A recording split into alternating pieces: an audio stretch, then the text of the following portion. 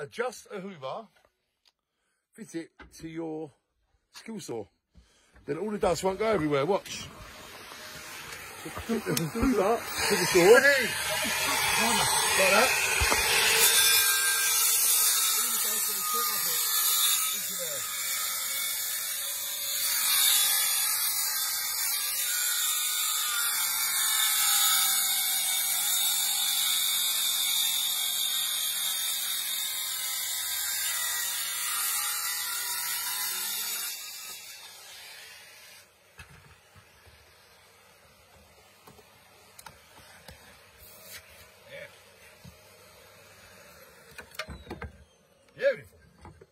That is how to use a skill saw inside your bedroom without all the sawdust going all over the room. Just by adding the hoover to the skill saw, you now make it an indoor sk skill saw. If you would like to make your skill saw, skill saw indoor, then, on a seesaw.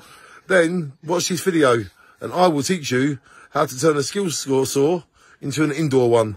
Shine on everybody.